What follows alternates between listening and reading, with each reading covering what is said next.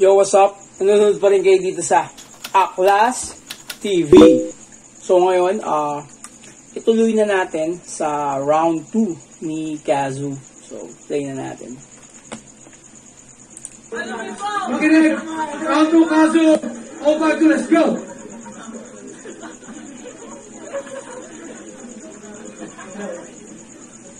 Alam mo, class, Ay, naka, nakalimot. alam mo, class, hindi na ako makapag-rebat. Sa baho ng hininga mo, mas pinili mo mag-react. Walang hiya ka. Ang hininga mo nananapak, may sipa pang kasama. Kaya pag humihinga ka, madami kaming hindi humihinga. Naubos na din yung ngipin mo, kakasago kaya hindi ka na din natitinga. Kaya pag ikaw na ang kalaban, talagang nakakawalang gana, mas nakakatamad ka pa nga yata sa salitang mamaya na. Mamaya na. Pag ako, nagbara, sakto sa anggulo. Pag ito, nagbara, yung bara ko, dinoble mo. Japan to, bobo, yung bara-bara dito, magulo. Kaya bago mo ako magawang talunin, marami ka pang bigas na lalamunin. Kaso mukhang di mo rin makakain kasi tumanda ka na, hindi mo pa natutunan magsaing. Minsan inutusan ko ng magsaing, pati sarili ng tiyahin, nagawa kang tigunin. Pinatong ba naman yung kalan sa rice cooker? Pero nagawa naman niya lutuin. Kaso lang, iniinit niya pa ulit sa oven. Hindi ikaw si Thanos, Taguro Ryzen kasi puro ka kabubuhan. Ikaw si Cell na nagbuhan tanga sa gohan. O ikaw ang Cell, mama na itinapat sa bata kaya ako'y lalo pa na nanguhubog. Mama, yung imunan nitong bata, dun ka mamaya matutulog. Bars at double meaning na pagsasabay ko yan. Ikaw alam namin na wala kang bars pero sana, itugma mo naman. Ako ang tugmaan ko ay parang sina Eva at Agan. Sa bawat tira ko sa linya, siguradong may laman. Ikaw para kang bayabas sa bayabasan ni Juan. Matagal muna kaming maghihintay bago ka magbigay sa amin ng kahulugan. Kaya talo ka na. Kahit promo pa to. O talo ka na, tangina mo parang bigayan ng bato. Panay pang reklamo mo sa gobyerno kaya siguro kami sistema. Pero Ano di mo alam na mas bumbong ka. Never na nga yung sistema pero ba't nagpalamon ka pa? Kaya itong adik, bugbog sarado kahit na walang suntukan. Sa mga pitik ko na gamit na kayang makipagrambulan. Sa flip top, akala mo kawalan ka? Ba't walang naghanap nung nawala ka? Pati sa katinuan, nawawala na. Kaya Dami yun. nawawalan na. At kung dati nakatawa-tawa ka, matap na yun, matapos kitang iparte-parte, watak-watak ka na. Yun oh, ganda nun. Ano, naiintindihan Katawa-tawa, watak-watak. Tarantado kaya nga ng bulan. Magulo! Time! Makinig mga kaso, round 2. So, yun yung round 2 ni Kazu. So, mas malakas yung round 1 niya para sa akin. So, sa round 2, written pa rin talaga siya. Bumabase pa rin siya sa written niya. Pero nahirapan siya mag-umpisa sa round 2 niya kasi nga inaab na, na ano na ano na siya eh, na parang nawala na siya sa round 1 ko na maikli lang. So, ewan ko. Parang ganun yung pagkakaintindi ko kasi may tingin-tingin siya tapos parang nag-iisip siya. So dito bibigyan ko siya ng 9 para sa ano na to, sa round 2 na to.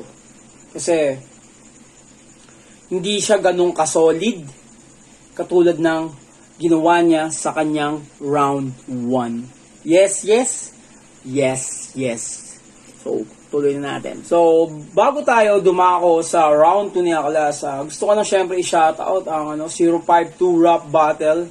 Lalo na si ano si Cameron, si Double D, mga tropang Osaka, tropang Nagoya, tropang Tokyo.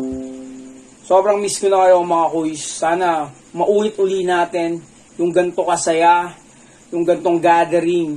Kasi ibang klase to eh, di ba? Kayo lang yung isa sa mga unang gumawa ng masasabi nating malupit na liga. Masasabi natin na pantapat pwede na liga, kumbaga may ano, may may kalidad na liga.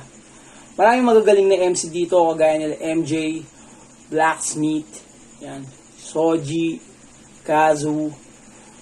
So, sayang talaga nawala ito. So, yun nga. Ituloy na natin ang ating ano, round 2. Yes, yes. Round 2 ni Aklas. Round 2! May taga-sigaw ng tapusin eh. Round 2 ka! Yo! Bago na ang taon, luma pa rin ang iyong baon. Yung mga punchlines mong patakon, hindi yan nakakalason. Hindi nakakabaon. Kahit ikaw ay nakabuelo, hindi ka makakatama ng todo. Eh paano ba naman? Lahat ng binatawan mo, sablay, palpak, nakaw, sugod, bobo. At putang ina mo, anong tatak tono? Hoy, tarantado! Mas bagay sa'yo, tatak bobo! Grupo niya yung tataktono. LA matibay, mga ispoklong na tunay, yung mga madimbong taas kilay, kapitbahay ni Dikta sa barangay Kilay, Kilay Tundo! Ano? Sa Pinas, taga-tundo ka? Ito yung tsura, Guwapings Balsog. Mga taga-Binondo ka? Tondo! Wala kang maloloko dito. Bistado ka na gago. Piling geto ka pa. Ulun! Legit na konyo ka! Konyong tricycle driver sa kanto ng bangbang. Alam mo yung bangbang? Yung anak ni Bebang at nasa lagubang. Ikaw yun! Nawala ako dun. Sa totoo lang. So, pinrestyle ko na lang yung anak ni Bebang at ni sa Lagubang. Pero yung unang ba, yung unang, yung round 2 ko hanggang doon sa, sa putol na yun, written yun, written yun, basic written yun talaga. Promise, written yun, hindi yun freestyle, written talaga yun. So, ituloy na natin.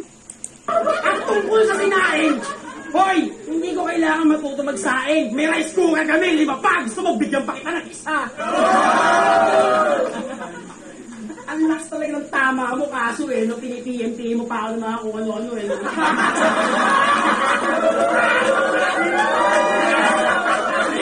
Oh, yun, ito. Tapos na ito, kaso pag pa video.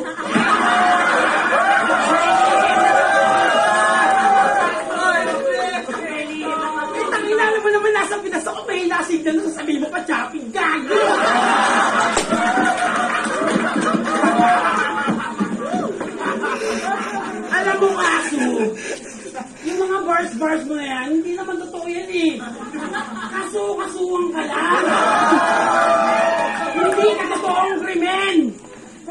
Kwento-kwento lang yung pagiging mong stupidong magaling, mamen. Diba, talking ng Japan? O yun! Kwento mo kay Malupet! yung mga templates na bats mo, bago mo simulan ang rounds mo, yun yung mga pambanban na rebat, di malupet.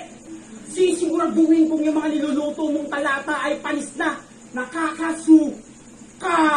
Yung mga salita mo talaga naman dapat winawalis na. Ano, akala mo mabangis ka? Oo, malangis ka.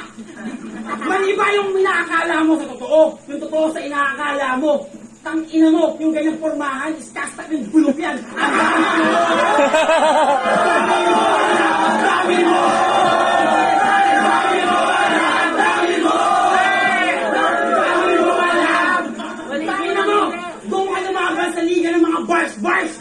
Bars-basin ko yung mukha mo eh! Ay!